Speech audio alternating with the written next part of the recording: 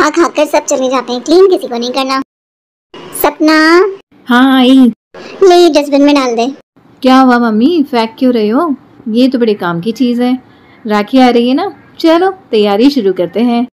अब इसका क्या करने वाली है तू? अरे बता तो सही कर क्या रही है? अरे कुछ नहीं मम्मी।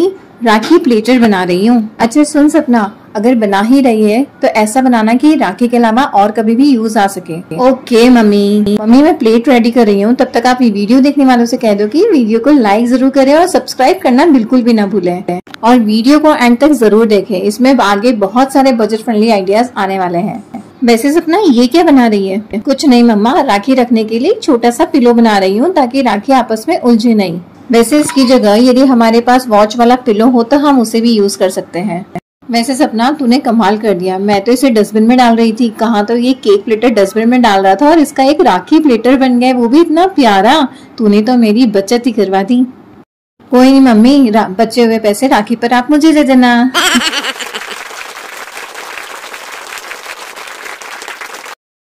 तूने तो अपनी तैयारी फटाफट कर ली। मेरी भी करवा दे। अभी कहाँ हुई पूरी तैयारी? अभी तो नारियल, एनवलप, गिफ्ट सब बचा हुआ है और आपकी क्या तैयारी? आप बताओ ना, आपके भाई मतलब मामा, वो तो वैसे ही बाहर रहते हैं। वही तो मैं थोड़ी ना इतना बड़ा प्लेटर भेजूँगी बाहर। कुछ बाहर भेजने के लिए बता। ओके ओके मम्मा तो आ जाओ, आपके लाते हैं छोटा सा प्लेटर तो मम्मी, निकाल दो एक सीढ़ी और एक अच्छा सा क्लॉथ फिर क्लॉथ को हम सीढ़ी से बड़े साइज़ में कट कर लेंगे और स्टिक कर देंगे प्रॉपरली और अभी ये पीछे से बिल्कुल गंदा लग रहा है तो इसे कवर करने के लिए लगा देंगे एक और क्लॉथ या पेपर भी यूज़ कर सकते हैं। यदि आपको भी छोटे से प्लेटर का आइडिया अच्छा लग रहा हो तो सब्सक्राइब ज़रूर कर दीजिए। रुकी रुकिए, अभी वीडियो खत्म नहीं हुआ है। अभी तिलक स्टिक बनाना बाकी है तो इसके लिए ले लिया है ईयरबड्स और उसे लेस या गोटा से कवर कर दिया है। नीचे मोती के हैंगिंग दे दिए हैं और ऊपर मेरे पास जो बूटी रखी थी, इसे मैंने लगा दिया है। It's ready done done done done अरे ये तो सिर्फ़ प्लेट है। राखी कहाँ है? इसका क्या करूँ? आरती उतारू राखी भी बांधनी है मुझे। भूल गई थी ना? बनाती हूँ।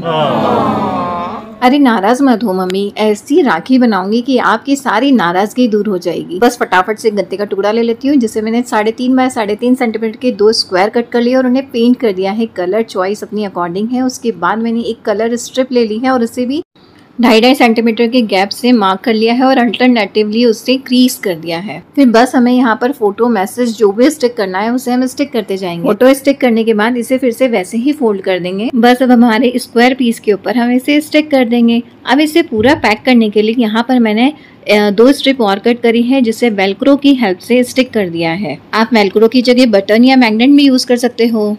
अभी हमारी राखी काफ़ी प्लेन लग रही थी तो मैंने स्ट्रिप्स के ऊपर मंडाला ऐड कर दिया है। आप चाहे तो ब्रदर या कोई और स्टिकर यूज़ कर सकते हो। अरे चलो चलो, अब हमें राखी हैम्पर रेडी करना है, सब कुछ बन चुका है। तो आज हम प्रिपेयर करने वाले हैं राखी स्पेशल बॉक्स जिसकी पहली खास बात यह है कि ये बजट फ्रेंडली है। और दूसरी खास बात मैं आगे बताऊँगी तो वीडियो एंड तक ज़रूर देखना। सबसे पहले तो हम एक बॉक्स लेंगे, उसके ऊपर एक शीट से उसे थोड़ा सा कवर कर देंगे, उस पर आप चाहे जो मैसेज लिख सकते हैं। इसमें सबसे पहले रखेंगे हम ये छोटू सा प्लेटर जिसे हमने अपने हाथों से बनाया और इसका वीडियो मैं ऑलरेडी अपलोड कर चुकी हूँ। क्योंकि ये पूरा सामान बाहर जाने वाला है, इसलिए मैंने यहाँ पर बॉक्स का यूज़ किया है, ताकि हमारा सारा सामान सेफ़ रहे। बार इसमें ऐड करेंगे हम, हमारी बनाई फ़ोटो वाली राखी। और अब रखने वाले हैं हम, हमारा ये हाथ से बना हुआ एनवलप इसका वीडियो भी मैं अपलोड कर चुकी हूँ। तो भाई, इस बॉक्स की दूसरी खास बात यह है कि इसमें हमें इमोशंस भी पैक हो चुके हैं, क्योंकि इसमें हमने मैक्सिमम चीज़ें हाथ से बनी हुई रखी है। ऐसे और आइडियाज़ के लिए चैनल को सब्सक्राइब ज़रूर कीजिए और लाइक करना तो बिल्कुल मत भूलिए। हैप्पी रक्षाबंधन!